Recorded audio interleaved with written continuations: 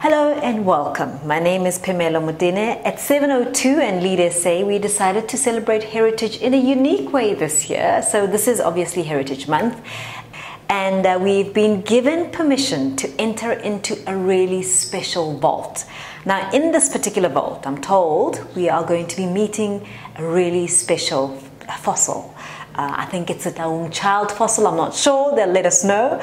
But not everybody gets a chance to come in here. Scientists from around the world come in here to just explore and do their studies. But we were privileged enough to get permission to come for this Heritage Month, and I'm hoping will op- also open up your minds and your eyes to what the world has to offer. 400 million years in this space. It is incredible.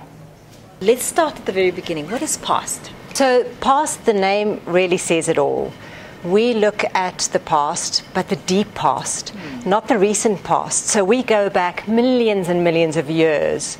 And this is incredibly important because we look at the origins and development of life, of humankind. Mm. A lot of it which happened on this continent in Africa. So PAST is a very unique organization. We're a public benefit organization that preserves, protects, and promotes the studies of our ancient past. And this is important because, of course, the past is really our only guide to the present and to the future. So tell me the significance of this particular vault. Yes, so this is one of a few such vaults on the continent. And the significance is that these vaults contain very, very rare objects that are rare, rarer than gold or diamonds or the Mona Lisa or the pyramids or any of these wonderful things that we see in other parts of the world. Why do I say that? Right here in this building, we go back 400 million years. So we have some of the rarest objects on Earth, which is the fossils of our ancestors, but also of other plants and animals stretching right back to 400 million years. Now, it's unique because the only other building that I know of in the world that has this kind of record is the Institute of Vertebrate vertebrate paleontology in Beijing.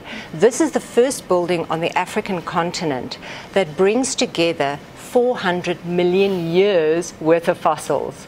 So you have fossils of mammal-like reptiles, of early dinosaurs, but also of our human relatives going back three million years. Mm. So, of course, this is a building that secures these fossils, makes sure they're properly protected, but also allows access to the public and to other scientists from across the world.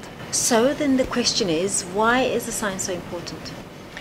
This is such a critical question and one that PAST hopes to answer in part.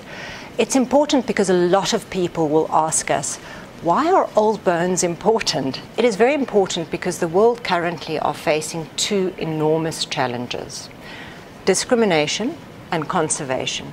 And we feel that at a very fundamental level, this science of our shared origins, these fossils that tell us that we come from the same source, an African source, goes a long way towards a very, very bright future for humankind, which may not so be so bright if we don't look at our shared origins. And this is not only about the shared origins of humankind, the fact that every single human, no matter what they look like, share an origins that goes millions of years back, but it's also about the shared origins of all living things every single living thing on this planet, which tells us, and more importantly, our children, that we need to preserve. We need to be kind. We need to look at equal rights and a common humanity. And these fossils in this building provides the scientific basis for this. So we're still in the vault, and uh, in front of us is the Taung child skull. I mean, this is absolutely incredible. Rob, just give me a little bit of history, factual history about mm. about this baby, this child.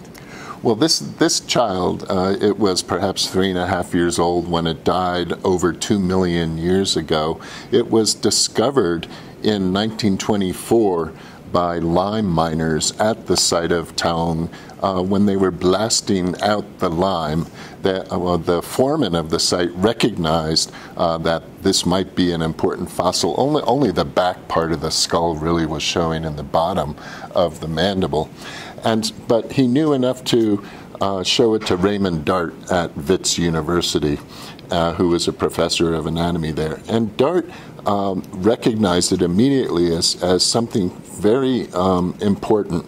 And he took several months to clean the fossil, remove the, the rock that was um, attached to it, and proclaimed this fossil to be uh, a very ancient human ancestor, older than anything uh, and more primitive than anything that had been known previously. His claim was roundly rejected by scientists, for what he was really saying was that humankind originated in Africa. Now, at the time in 1924, Africa was considered to be a backwater where nothing of importance in our evolutionary history happened, and that human origins must lie in Europe or perhaps in Asia.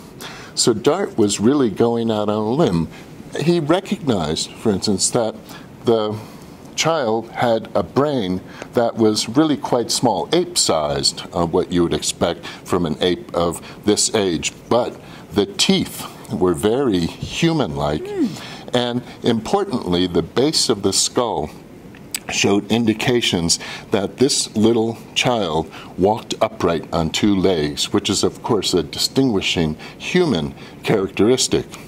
Now, it took a good 30 years for Dart's claim to be vindicated, and a lot of that vindication came in the form of subsequent fossil discoveries of uh, early hominids like Taung from the site of Sterkfontein here in the uh, cradle of human of, of humankind. And subsequently, there have been hundreds and upon hundreds of fossils of our early ancestors discovered both in East Africa and South Africa that extend our lineage back to at least six or seven million years. And what these fossils show, all starting with Taung, is that not only did our most primitive characteristics arise here in Africa, walking upright on two legs, but everything that's defining of humanity from our dependence on technology to our very um, incredible cognitive capabilities, our intelligence, our ability to symbolize, to speak language. All of those things originated here in Africa. So far from being a backwater, mm-hmm. Africa, in fact, is the wellspring of humanity.